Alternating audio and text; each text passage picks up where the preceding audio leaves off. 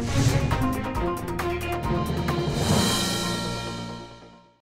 Biaya demokrasi yang semakin mahal membuka kesempatan adanya tindakan pidana korupsi. Salah satu terkait bantuan pembiayaan politik saat berkampanye. Ditemui usai sesi panel dengan tema The High Cost of Institutionalizing Democracy, pada sidang ke-6 GOPEC di Yogyakarta, Wakil Ketua DPR RI, Koordinator Bidang Politik dan Keamanan Fadlizon mengakui proses demokrasi yang mahal tidak otomatis anggota DPR RI melakukan tindakan korupsi.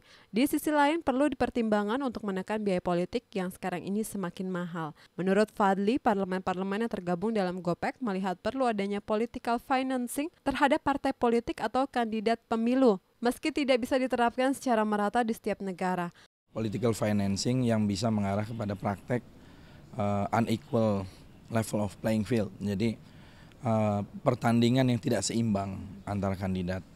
Nah, sehingga harus ada juga uh, tadi didiskusikan bagaimana peran uh, negara.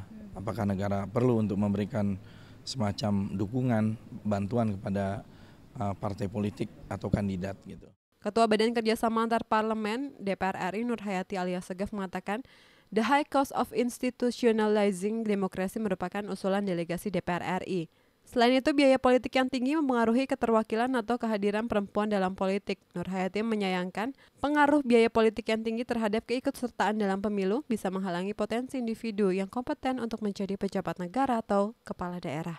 Eh, kita semua uh, sadar ya sadar bahwa kenapa juga keterwakilan perempuan kurang karena perempuan tadi juga saya jelaskan akses ke finansial kan lemah kemudian juga finansial independennya, juga keuangan ya itu juga lemah. Dari kota Yogyakarta, Bayu dan Iqbal, TV Parlemen melaporkan.